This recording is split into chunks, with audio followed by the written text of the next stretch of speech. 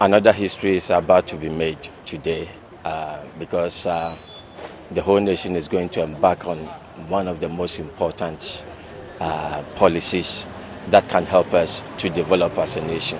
The launching um, is quite different from implementation, but what we need to follow up is how it could be implemented in such a way that it will chalk the needed success. Because when it comes to um, national identification system, the tests of, of its success is about the fact that when a car passes through red lights, the owner of that car could be served with a penalty. Once that one could be achieved, then all of us can boastfully say that our, our national identification system is a success.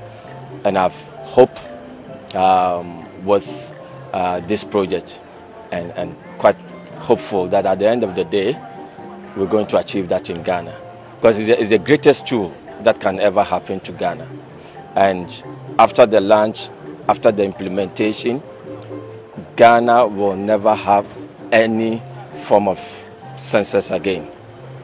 This exercise should mark the, uh, the last of census in Ghana and is going to serve as a planning tool for the nation.